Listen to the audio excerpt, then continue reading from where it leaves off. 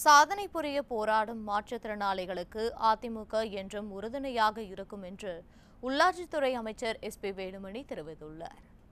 கோவையில் Tamil Nadu para Olympic சங்கம் மற்றும் ஆலயம் அறக்கட்டளை சார்பில் மாற்றுத்திறனாளிகளுக்கான விளையாட்டுப் போட்டிகள் நடைபெற்று வருகின்றன.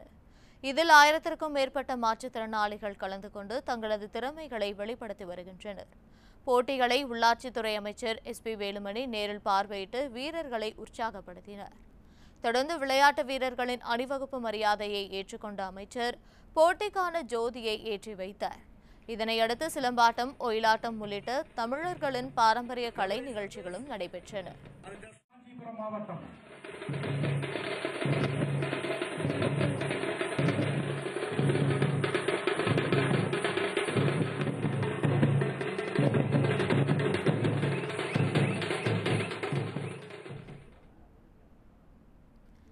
பின்னர் நிகழ்ச்சியில் பேசிய அமைச்சர் S P Velumani Tamil Nadu para Olympic சங்கத்தின் கோரிக்கைகள் நிறைவேற்றி தரப்படும் என்று நம்பிக்கை தெரிவித்தார்.